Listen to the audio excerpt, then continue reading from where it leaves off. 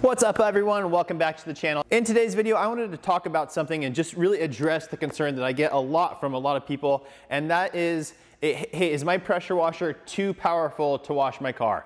And the answer to that is no, um, but there are definitely some things you're gonna wanna be careful with when you're using a really high PSI pressure washer on your car. Now in this video, we're gonna be doing a little test so I can give you guys a good visual of what I mean about, yeah, it may be a really high PSI pressure washer, but as long as you're careful, you're gonna be okay. Again, just a good visual so it's easier to comprehend. So I've got two stories about this, guys. Number one is when I first started detailing 17 years ago, I went through a little, a little school class thing that lasted about a week. They, I bought all my equipment through them and the pressure washer that I was given was a very high PSI very high flow pressure washer. Now, let me tell you guys, it worked great. Like I was able to get through cars faster because it pushed all the dirt and everything off. However, was that too much? Yeah, I would say it probably was. Um, nowadays, I typically like to operate between 900 to 1200 PSI in most cases, and usually around that 2 GPM or as close to it as I can get.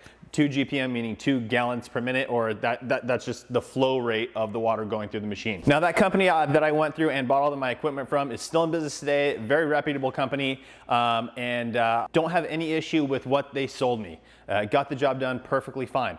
I wouldn't go that route today, just you know, after 17 years of, of, building knowledge. It's not the route I would go. But again, totally fine in most circumstances as long as you're being careful. That kind of brings us to story number two, guys, and that is a story about me, myself. When I first started detailing, I was probably into it for only about a year, was called out to a, a hotel to clean a car that was in town for a car show. It was an old Alfa Romeo Spider, I believe. I don't remember what year, but an older one. Now, because that was an older car, the paint wasn't perfect on it. I was using the specific pressure washer that I was just talking to you guys about that I got when I first started my business, really high PSI.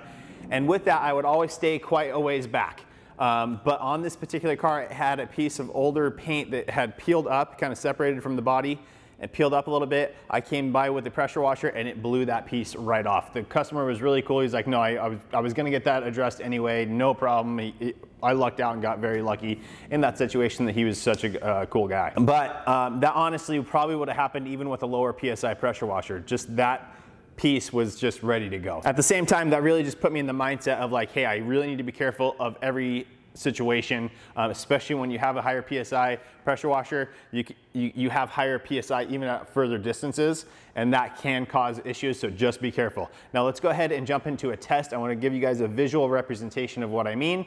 Um, so let's do this. Okay, so right behind me here, right there. I have a, a Ryobi. This is an electric pressure washer from Ryobi rated at 3000 PSI, 1.1 GPM. Now I just did a review on this pressure washer. If you haven't seen it, I'll link it up here or down in the description for you guys so you can go check that out um, if you're interested in this pressure washer. Now, within that test, I tested the, the PSI and the actual usable numbers were 2700 PSI.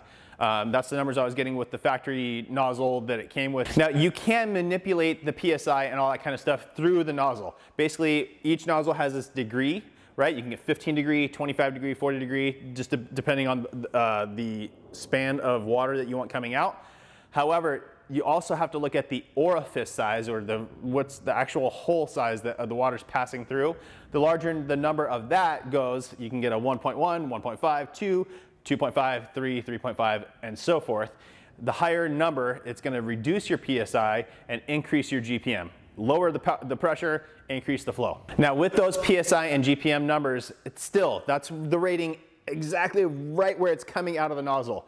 Okay guys, so what I mean by that is, for example, I just did this little drawing, forgive me for being such a terrible artist, but right here, right where the water's coming out of the nozzle is gonna be your strongest point. So this one, like I said, is getting 2,700 PSI.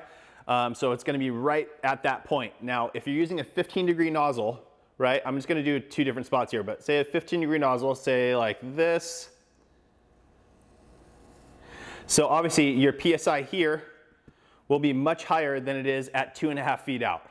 And then at two and a half feet out, it's gonna be more powerful than it is at five feet out because that power is being dispersed by the angle. So when you switch over to a 40 degree, 40 degree angle, I'm just gonna do it from down here, you're getting a wider fan right off the bat. So yeah, your pressure is still the same here, but at this point at two and a half feet, you have much less pressure than you would if you were using that 15 degree nozzle or 25 degree, I don't remember what I said. And same thing at five feet. Considerably less pressure here because it's being dispersed through so much angle. Now to give a visual of what I mean by that, guys, I have these just two basic empty cardboard boxes. Both exactly the same, same weight cardboard, so no difference there. I'm gonna put them down on the ground. I'm gonna take my pressure washer at the 15 degree angle, bring it in closer, and we'll see about how far it is before it rips through the box. Then we'll switch over to a 40 and we'll go and see how far it is before it gets to the box. That'll just give a good representation of if you're working on your car's paint and you're, and you're concerned about it, stay further back and you're gonna be okay. But let's go ahead and do this test. Now, as you can see, I'm gonna go ahead and take this and put it to the 15 degree nozzle, if that'll focus for you. I don't know why it won't. There we go, 15 degrees. Okay, so we're all set. I'm gonna take it from back here, bring it in closer and see when it, once it rips through. I'm gonna let the power build up in the machine first so that there's no delay and I'm not causing any uh, false readings here. So I'm just gonna go pull it, We'll get it all at full power and then I'll go towards the, the cardboard.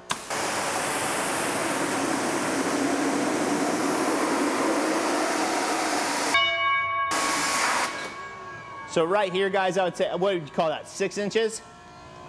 And we have penetrated the box. Now I know this isn't completely scientific because the box also got wet, but I'm gonna try and match the speed that I went down and see where we get. So now we're gonna switch over to the 40 degree nozzle right there.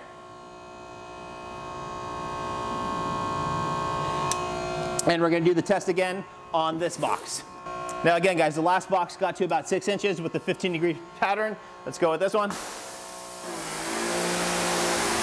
Here we go. Still all good. There we go. But look how close we are here inches, inches away. Let me go ahead and turn this off. Inches away, and with the 15 degree nozzle, we're through. We're completely through, okay? With the 40 degree nozzle, man, it didn't break through. It broke the top surface of it, but it's not all the way, all the way through. There we go, I can push through it now. But so it took to, you know, right about here, an inch or two out, before it ripped through this box versus the 15 degree, we're about six inches out and it ripped all the way through. So there you go guys. Even though you have a high PSI pressure washer, if you go with a 40 degree angled nozzle, right, it's gonna be dispersing that pressure right off the bat. So say it's a 3,500 PSI pressure washer, as, lo as long as it, right here at that point where it's coming out of the nozzle, yeah, 3,500 PSI. Two and a half feet away, not 3,500 PSI anymore. It's dropping it considerably. Five feet out, way more. So if you have a high PSI pressure washer, stay a little bit further back from the car and you're gonna be fine. Now, if you're still concerned about it and you actually want to drop the PSI right at that nozzle point, um, I have a whole video on how to do that. I'll link it down in the description for you guys.